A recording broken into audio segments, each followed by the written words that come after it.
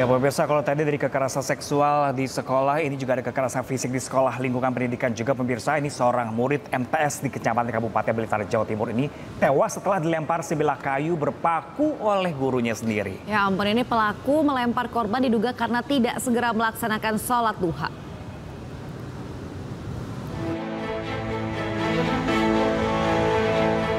Seorang murid salah satu madrasah sanawiyah di Desa Bacem, Kabupaten Blitar, Jawa Timur tewas usai dilempar kayu berpaku oleh ustadz atau gurunya.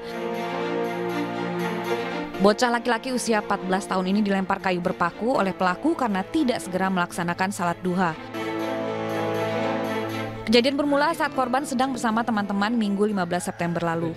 Pelaku meminta seluruh murid agar mandi dan melaksanakan sholat duha, namun santri tidak mendengarkan perintah pelaku. Karena emosi, pelaku kemudian melemparkan kayu berpaku hingga mengenai korban. Ketika dibawa ke rumah sakit, jiwa korban tidak tertolong. Sejumlah saksi telah diperiksa dan polisi akan segera menetapkan tersangka. Ya, dari pihak Blitar Kota sudah melakukan pemeriksaan baik rumah sakit Sengat dan para ustadz atau guru-gurunya baik yang mengantar maupun yang melempar dan juga sudah melakukan pemeriksaan terhadap pemilik pondok pesantren tersebut. Namun agar kasus ini bisa dituntaskan, polisi meminta pihak keluarga korban memenuhi panggilan Satreskrim untuk bisa hadir ke Polres memberikan laporan. Dari Blitar, Jawa Timur, Robi Ridwan, iNews melaporkan. Ya pemirsa ini membuktikan kekerasan atas nama apa pun, apalagi atas nama pendidikan ini Betul. adalah tidak dibenarkan, apalagi Betul. sampai menyalahkan nyawa tadi. Seharusnya kan sekolah ini memberikan pengayuman pendidikan. Dan tentunya perlindungan trauma, juga. Betul. Dan juga bahkan ini menghilangkan nyawa. Benar. Jadi kekerasan mulai tadi ada kekerasan seksual, terus hmm. akhirnya fisik, itu semuanya tentu saja tidak sangat tidak patut untuk terjadi di tentunya apalagi di lingkungan pendidikan gitu ya. Benar sekali. Ya pemirsa ini dari hasil penyidikan polisi pemirsa, pelaku mengaku tidak mengetahui ada paku di kayu yang ia lempar. Nah sementara pihak keluarga korban hingga kini ini belum melapor ke polisi. Dan berikut cuplikan dialog dari Kasih Humas Polres Blitar dalam program Lapor Polisi.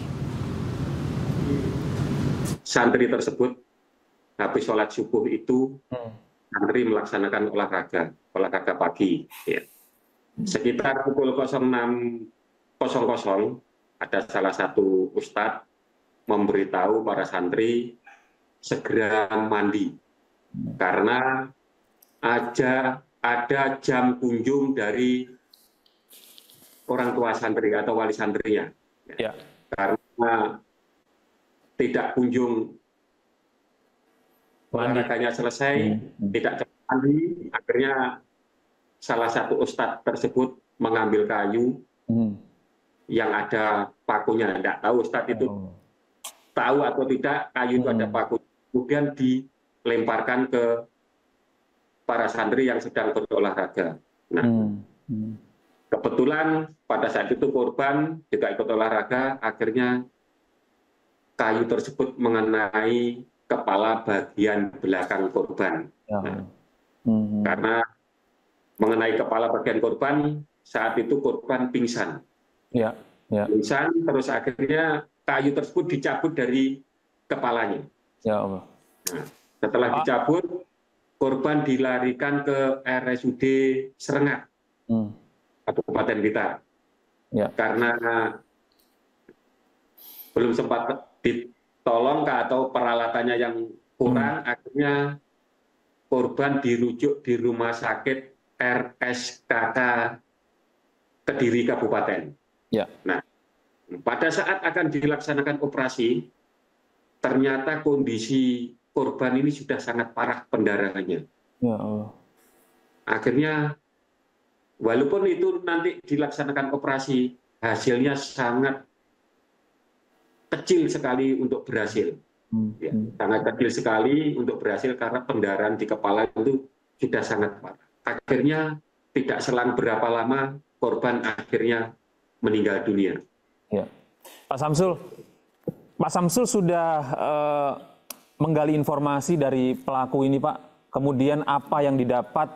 Lalu uh, pertanyaan saya adalah, apakah pelaku ini menyadari betul bahwa kayu yang akan dilempar itu ada kayu, ada paku maksud kami di di, di dalamnya, Pak? Mengetahui ya. atau tidak, Pak?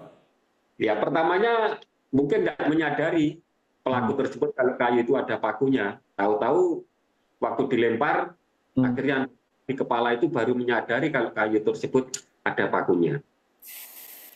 Itu kalau Anda melihat dari mendengar kesaksian dari pelaku ini Pak, itu tindakan spontan, kayu itu sudah kayu seadanya kemudian diambil, dilemparkan begitu, atau kayu itu dipersiapkan memang untuk melempar anak-anak ini, Pak? Saya kira kayu tersebut di situ kan kebetulan masih ada rehab pondok, ya. hmm. jadi pondoknya itu juga masih direhab. Nah, kemungkinan di sekitar ustadz tersebut ada kayu langsung diambil, dilemparkan gitu. Dilemparkan. Jadi, gitu uh, kayu tersebut ada pakunya, ustadz tersebut kurang menyadari. Yang penting dia ambil kayu langsung dilempar ke para santri yang masih melaksanakan olahraga tersebut. Ya, Pak, itu kayu dilemparkan kepada kerumunan anak atau hanya ada satu korban yang kemudian dilemparkan dengan mentargetkan satu orang korban meninggal dunia ini, Pak? Iya, pada saat itu masih banyak santri yang berolahraga. Hmm. Jadi dilempar itu aja dilempar gitu aja akhirnya mengenai salah satu korban tersebut. Artinya tidak sengaja untuk menargetkan satu orang anak oh, begitu oh, tidak, ya? Tidak, tidak. Jadi targetnya ya santri yang masih banyak itu melaksanakan olahraga dilempar gitu aja. Hmm, hmm, hmm. Pak, saat ini eh, bagaimana penanganan dari eh, pelaku ini, Pak? Sudah ditangkap atau seperti apa, Pak? Baik, kalau pemeriksaan awal waktu tahap penyelidikan kemarin sudah dilaksanakan pemeriksaan tapi belum ditahan. Ya. Karena apa? Kita masih menunggu dari pihak keluarga untuk membuat laporan. Karena ditunggu sampai saat ini pihak keluarga tidak bikin laporan, akhirnya pihak Polres Blitar Kota menerbitkan laporan polisi model A atau yang diketemukan. Nah, ini kemarin sudah dilaksanakan gelar, mungkin hari ini atau besok akan dilaksanakan gelar untuk menetapkan salah satu ustadz tersebut untuk menjadi tersangka.